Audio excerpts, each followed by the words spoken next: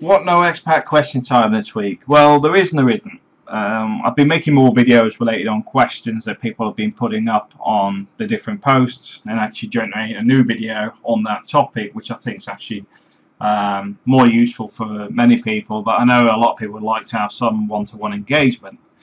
The problem I've got is the internet in La Mata is probably one of the worst on the planet. Um, yeah, it probably is. Um, I'm stuck because the up speed I simply can't get to a level that is ideal for anything. It's basically terrible. It's not fast enough for even the audio work. And let's say, well, here's a question. Rather than see my pretty face, um, would people be interested in me doing it with just a picture here and then the rest is like on a podcast form where basically I'm just talking. Because I can get that down at 30 kilobytes um, which is sort of down here. Because I know not everybody's computer literate and I'm not trying to but 30 kilobytes is down here. But for good video it needs to be like 1.5 megabyte up here. My internet doesn't even come with that when it does work properly. But 30 kilobytes I could probably squeeze. So if we're okay for that, I'll actually do it with a podcast. But if people say, well, I want to see your handsome face every day, when you know when you do these things, then okay, I'll leave the camera on. Well, I'll just when I do the question times. Um, but I'll let's see see what feedback we get. If we get enough people saying, yeah, we don't mind seeing your your face. Um, well, sorry, we don't want to see your face. We just want your audio. Then I'll get that set up for next week, uh, and I'll actually schedule it in today so that everybody actually knows when it is. Because uh, I'll be honest with you, I'm so disorganized with this stuff um, because I'm trying to get things running right, and to do it, I'm like, I'll try this, I'll try that, and then what happens is everything ends up in the air because I'm doing so much at the same time. The other side of this being that we're looking at office premises at the moment, so we may end up with a location we can move to later um, which already has an 18 meg broadband which will get round this problem uh, without too much hassles. Another thing I wanted to discuss this week was signing up on this uh, Patreon. As you can see, that's that's my YouTube channel page. Um, and before people go, oh, this is the business, this is the business, which I keep hearing on other people's uh, YouTubes this is not a business. It's actually costing me time at the moment, which I should be dedicating to other stuff. But what I'm looking at doing when this eventually loads, as you can see, my high-speed internet is whizzing along. Um, now you understand the problems I'm having. Um, and it's still loading. And it's still loading.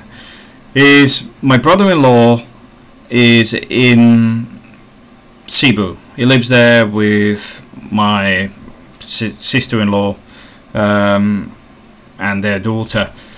Now, one thing I can utilize AGA for is actually doing videos in the Philippines. Now, this is where I've actually put it in here. There you go. Is to actually buy a camera for um, AGA because Aga travels around a lot anyway on a motorbike.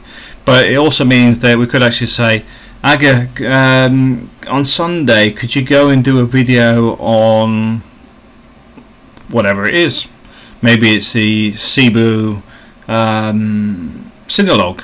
Because the, the thing we've got, we've got quite good connections for getting into places where other people struggle to get in there as well. Um, but we can actually utilize a camera.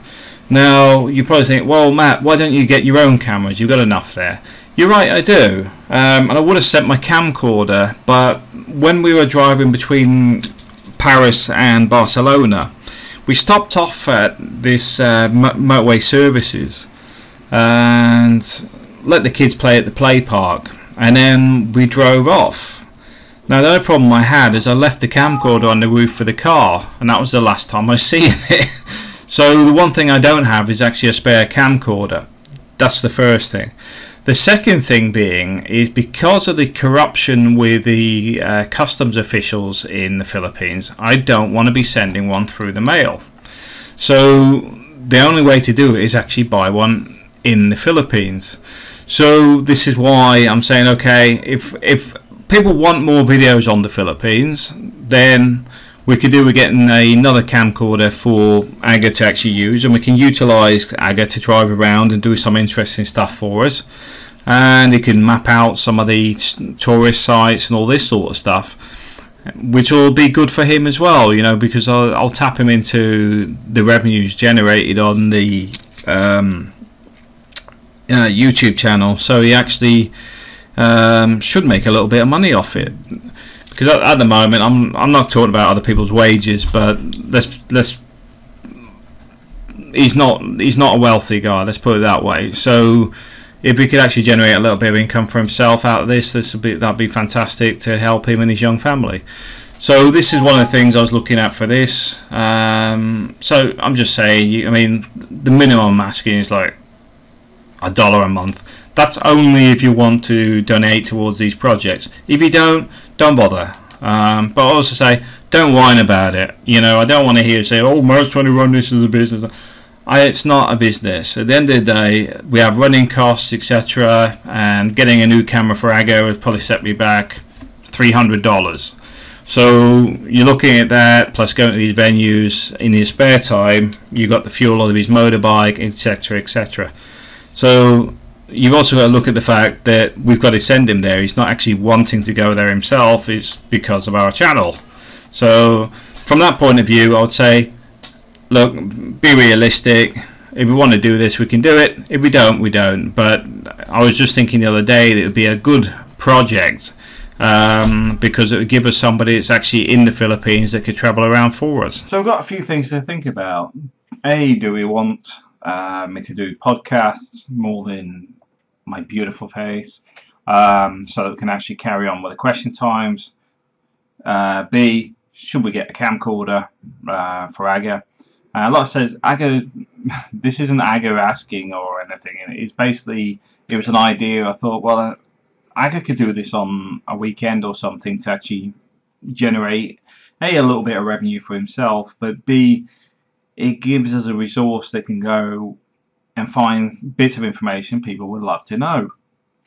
Because a lot of the stuff, the, the reason it's relative on the channel, you see, is although going to the uh, Pier 1 at Cebu, for example, somebody may ask, well, where, how do I get a ferry? And they'll go, okay, well, this, send him down there because one person asked that question a thousand people might find it useful, which is why we do this, because it's going to cost us more money to send him down there in the first place, but over a year or whatever, we may actually recover the cost of the fuel of the motorbike.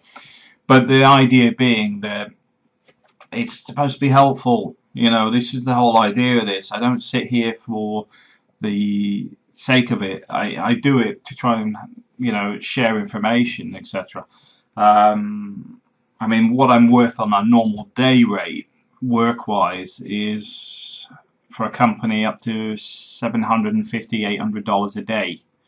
So you can see that me doing YouTube videos doesn't really pay. I should actually be working, but I'm more interested in A, sharing the facts of information I already have, B, I want to do more of this type of work and move away from the corporate life because I've done it, tired of it, and looking for something more interesting in my life. And I love traveling, so once this Spain bit's done, we may be buying a boat and heading off to the uh, Jamaicas or something, you know.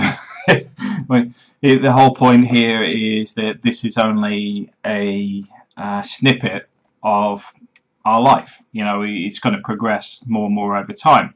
Same as equipment's progressing slowly. Uh, what you can't see at the moment, you might even hear it though, is my audio has improved because I've now put things on a mic stand which previously we didn't have. Um, so, like I said, I invest more money than we actually make, but the whole point is it, it actually improves the quality of the videos on an ongoing basis. But anyway, this is the question time, but not question time. But the big question is, is everybody happy with podcasts? Because I'm quite happy to do podcasts. If it, you know, if people are okay with that, I'll go with it. You know, because it's much easier for me to do podcasts as well. By the way, because I can sit and do a podcast in the car, for example, um, rather than needing to be in an environment. Because sometimes I'm out and about, but it's not the best location for video but it could be ideal to do, sit there and do a podcast while I'm sitting pondering the world. All right, thanks for watching.